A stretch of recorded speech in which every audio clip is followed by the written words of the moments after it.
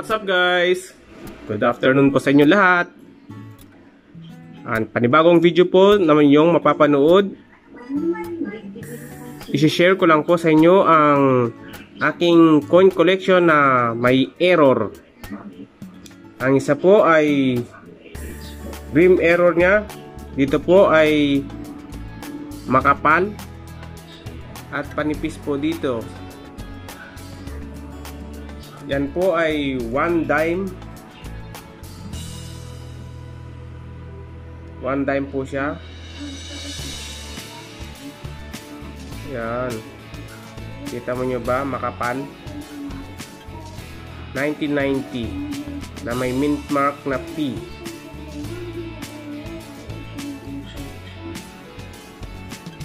Ang pangalawa po ay 1 penny ng bansang UK. Meron po siya ditong card error, makapal po. 1 penny.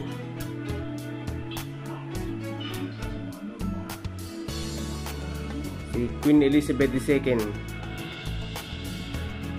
Yan po ang aking coin error.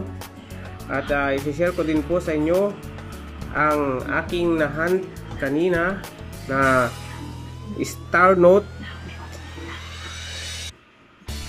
Star note po. Yan star note. At saka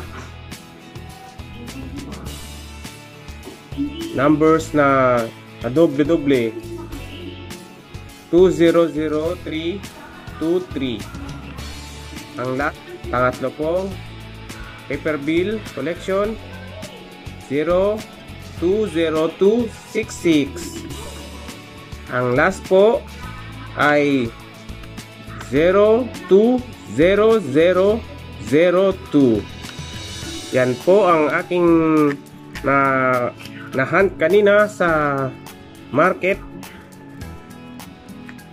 At dalawang coin error. Ang coin error Maraming salamat po sa panunood. Hanggang sa muli. Paalam. Mag-ingat po kayong palagi. God bless.